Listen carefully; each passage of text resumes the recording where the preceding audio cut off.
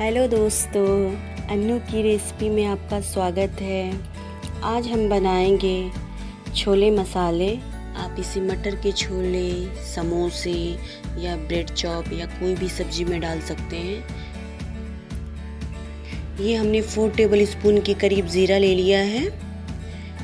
ये कुछ सूखी लाल मिर्च, पंद्रह या बीस आप अपने हिसाब से ले सकते हैं। ये हमने आधी कटोरी सूखी धनिया ले लिया है। ये थ्री टेबल स्पून के करीब गोल मिर्च।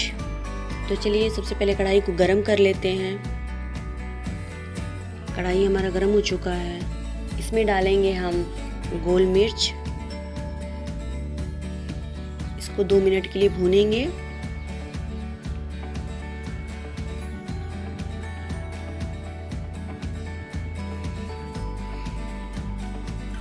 फिर सूखा धनिया।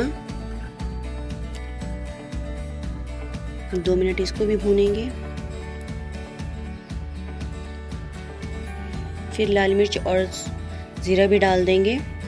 इन सबको अच्छे से चला के भून लेंगे।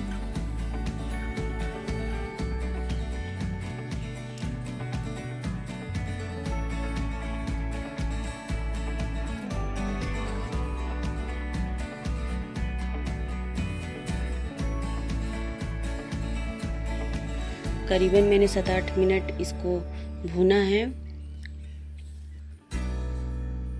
मसाले भुन गए हैं। अब गैस बंद कर देते हैं। अब गैस का फ्लेम ऑफ़ कर देते हैं। मसाला को ठंडा होने देते हैं। आप देख सकते हैं मसाला ठंडा हो गया है। अब इसका बारीक पाउडर बना लेते हैं।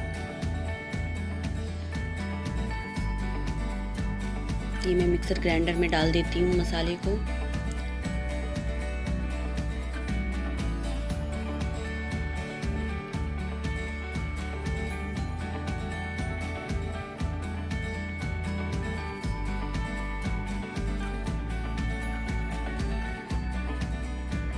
मसाले को हमने पीस लिया है।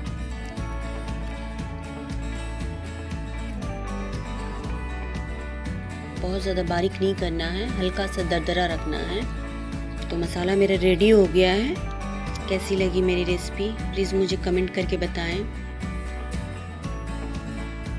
फिर मिलते हैं एक नई रेसिपी के साथ। Thank you